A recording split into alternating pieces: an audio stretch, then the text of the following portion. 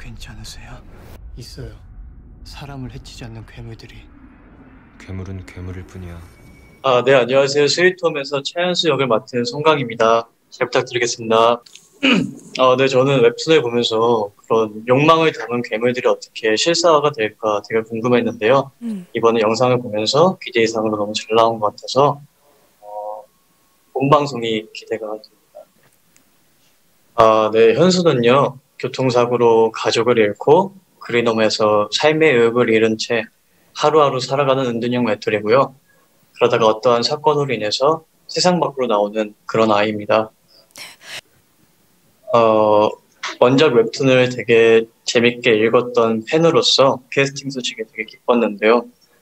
음, 현수와 또 내면에 있는 환영 현수의 모습을 어떻게 표현할 수 있을까에 대한 부담감이 되게 컸었어요.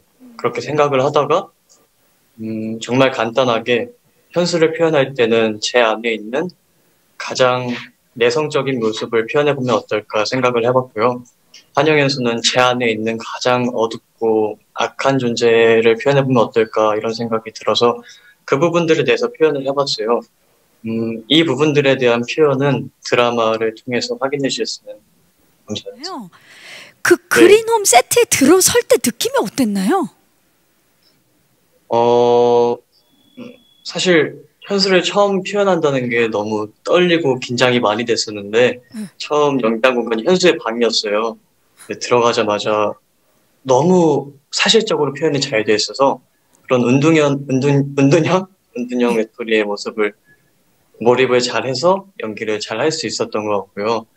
세트장이 너무 사실화가 잘 돼 있어서 어, 쉬는 시간에 계속 세트장을 보면서 감탄을 했었던 기억이 있습니다. 어, 부담감이 되게 컸어요. 어, 근데 그 부담감이 큰 만큼 현수를 되게 잘 표현하고 표현해보고 싶은 욕심이 커가지고요.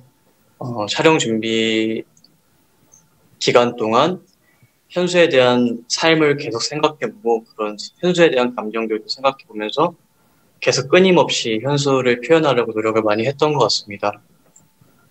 네, 요즘 되게 힘든 시기인데요.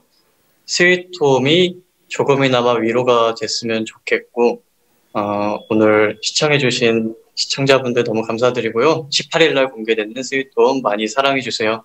감사합니다.